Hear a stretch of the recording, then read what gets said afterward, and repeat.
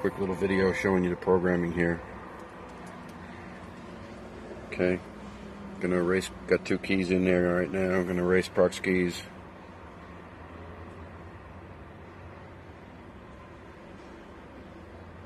Real quick.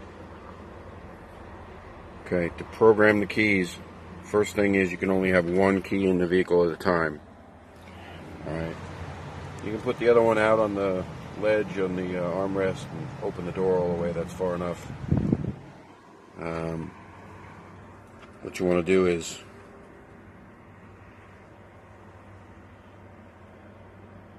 it's very specific here. Okay, what you need to do is see if I can capture this here.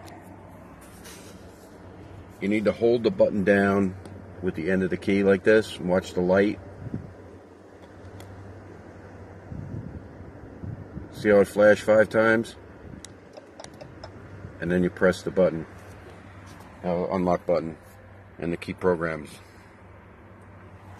Okay, now you swap out the keys. If you're doing more than one, bring the second one in.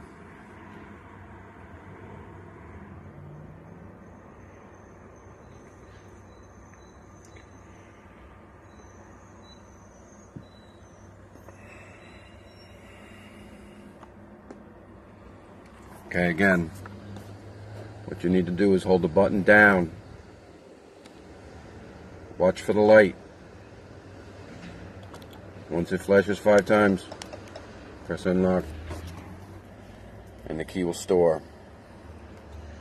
Now, if you press the button and you don't hold it down, or if you press anything else on the RKE first, and you press the button and you get rapid flashes of the LED, it's not going to program. You have to back out, go into fault codes, clear the fault codes, and start over. And sometimes you have to do that several times. But the key is you need to press the button down. That one time only, you press it and hold it down. And wait for the light to flash. It cannot flash rapidly. It's got to flash the five times like you saw it there. And that's it.